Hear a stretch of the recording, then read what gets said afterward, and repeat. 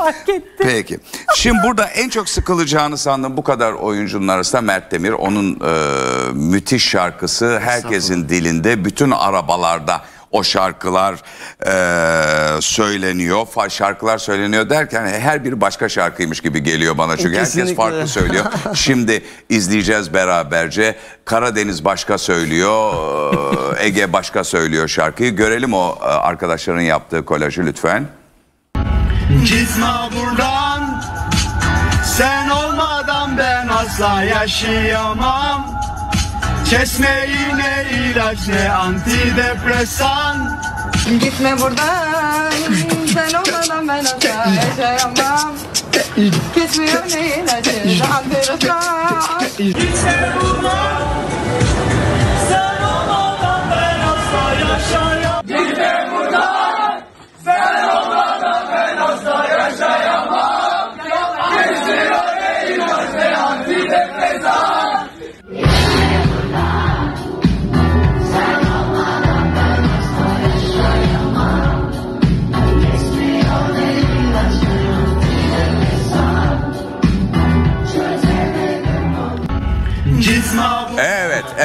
peki.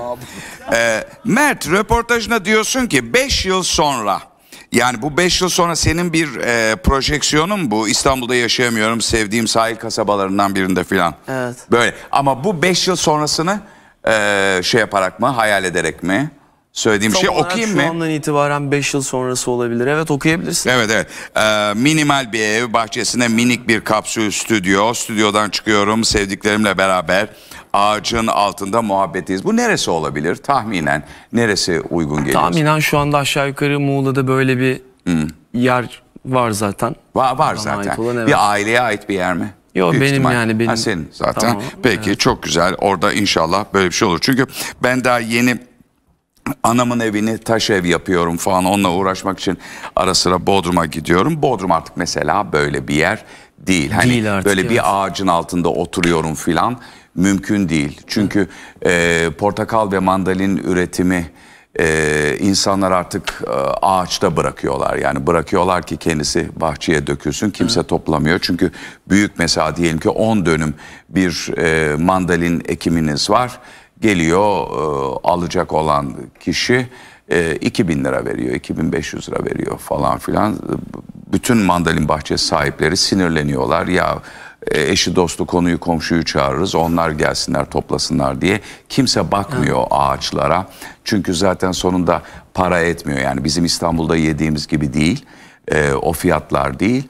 Ve sonuçta tarım tamamen ölmüş durumda. Harikulade Bodrum mandalinası.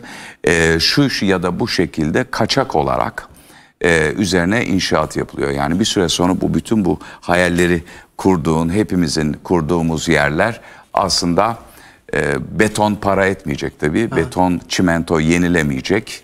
Hiçbir halta yaramayacak ama bunlarla dolmuş vaziyette bütün bahçeler, zeytinler kesiliyor. Evet, kesinlikle. mandalina ağaçları, portakal ağaçları kesiliyor falan filan.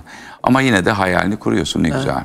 Yani aslında oradaki mantık biraz izole bir hayat yaşayabilmek belli bir noktadan sonra belki bunu söylemek için çok erken Ama çok olabilir çok ama. genç değil misin izole Tam olmak olarak- için? tam Kısa olarak onu Ben söyleyecektim. soracaktım. Ne? Ama hissettiği bir şey var belki kısa. de. Evet evet yani ben daha çok aslında yalnız olmaktan besleniyorum. Yani şehrin kaosu beni mesela üretkenliğimi de benden alıyor. Ben bu şarkıyı e, Muğla'da yaptım. Ve sonra Ha, o zaman Mabel'e tamam. attım. Git, Tabii ki git. Mabel Matiz gibi bir Evet, gerçek var. Evet. Ona yolladım. O da inanılmaz sevdi şarkıyı. Ve daha sonrasında katıldı. Kendi de sözlere dahil oldu. Ve daha sonrasında şarkı son haline geldi. Ama dediğim gibi mesela o izole olma hali beni daha üretken bir duruma getiriyor. Dolayısıyla aslında benim oraya gitmem benim İnziva işte. yani daha üretken olmamı sağlıyor bir noktada.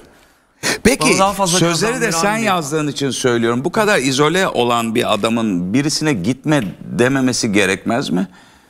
Ama şöyle zaten Belki ne- orada yaşarsan daha felsefik şeyler de üretebilirsin. tabii ki muhakkak. Hepiniz defolun gidin diye bir şarkı çıksa mesela ben çok istiyorum böyle bir şarkı gelsin yani. Bir noktada şöyle bir durum var. Geçmişteki yaşanmışlara bir şeyler yazıyorsun aslında. Sen farkında olmuyorsun. Ben mesela anında bir şeyler yazabilen bir insan değilim. Ama şu anda yaşadığımız bir şey bana 5 sene sonra bir şey de yazdırıyor olabilir. Dolayısıyla aslında o an yazdığım şey belki çok daha önceki belki bir travmaya bir gönderme olabilir. Ya da herhangi bir olaya gönderme olabilir. Ama e, dediğin gibi aslında öyle bir inziva ortamında çıkmaması gereken bir şey belki de. Ama dediğim gibi o üretimler geçmişteki olayların aslında o an dışa vurumu gibi bir şey oluyor. Aslında eee, 94 doğumlu. Yani şu anda bu masada bebeklerden biri değil mi? Bize bakarsan bize göre yani ha, yani hiç hiçbir yeri ağrımayan bir adam mesela. 26 He? Aralık 1993 bu arada iki gün önce doğum günüm. Evet onun bak aa Türkiye güzeli olduğu sene. Evet. 93 yanlış yazıyor internet. Yanlış mı yazıyor? Bizim de 26 hatamız olmuş Bak güzel. bir yaş görüyor musun? Evet. Sen evet. Ben o ara doğdum. Sen Türkiye güzeli olmadan bir sene öncesi. Önce. Evet. Vay be. Peki.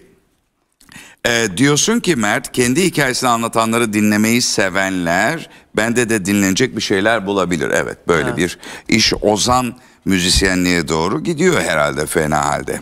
Yani aslında e, yapmaya çalıştığım şey tamamen gerçek bir şey ortaya koyabilmek. E, sahte bir şeyin içerisinde bulunmamaya gayret etmek. Yani tek amacım bu. Çünkü bu işi belki hayatımın sonuna kadar yapmak istiyorum ve e, işte 40 yaşında da sahnede olduğumda sahte bir şeylerin içerisinde olmayı istemiyorum. Değişebilirim. Bazı şeyler değişebilir. Ben de değişebilirim. Kişiliğim de değişebilir.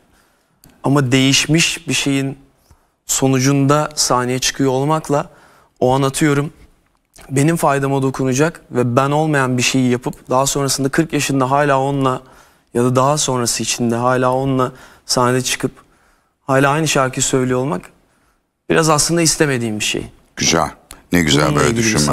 yani. Peki. Söyleyeyim. e, e, şöyle bir not var önümde. Elektronik altyapıların yanında R&B, bedroom pop ve arabesk seni sana esin oluyor. Bu bedroom pop nedir Allah aşkına? Bedroom Pop aslında bir noktada büyük stüdyolar işlevini yitirdi. Yani artık insanlar çok büyük hitleri, çok büyük ekonomileri sadece bir bilgisayarlarında çıkarmaya başladılar. e, küçük home stüdyolar. Aynen yani Onlar bir bedroom pop değil? Aslında evet yani Evet bir de ama niye o. bedroom deniliyor? Belki gençlerin ürettiği şeyler olduğu için. Yani evin o parçasında üretildiği Evet için. hani orada takılıyorum, üretiyorum kafası aslında oradan çıkan bir şey. Benim arabesk noktası da ben Bağcılar'da doğup büyüdüm ve 20 sene orada yaşadım. Bir şekilde e, her ne kadar kendini oradan çıkarırsan, soyutlarsan soyutla bir şekilde o arabesk senin ruhunda kalıyor ve bir noktada müziğine, duruşuna, söylemine hiç farkında olmadan ağzından çıkan bir kelimeyle kendini gösteriyor. Aslında bunları çok e, doğru bir şekilde mixlemeye çalışıyorum. Ortada karıştırmaya çalışıyorum yani. E, Bedroom aslında bunun çok önemli bir parçası. Çünkü gerçekten küçük prodüksiyonlar seni o arabeskin içinde tutuyor. Büyük prodüksiyonlar, büyük stüdyolar, büyük imkanlar biraz insanın en azından kendi özelinde e, amacından sapmaya doğru götürüyor. Çünkü büyük stüdyo, büyük iş, daha tutmalı, daha fazla bir şey olmalı gibi ama evinde bilgisayarın başında takılırken böyle bir şey düşünmüyorsun. Onu sadece yapmak ve bitirmek istiyorsun. Bu son şarkıyı da öyle yaptım zaten. Yani biraz onun aslında dışa yansıyışı insanlarda büyük bir etki yarattı. Gerçek oluşu bir etki yarattı. Evet. evet. Demek ki farkındalığın yaşı olmuyor. Evet doğru. Çok doğru hakikaten. Evet. Peki.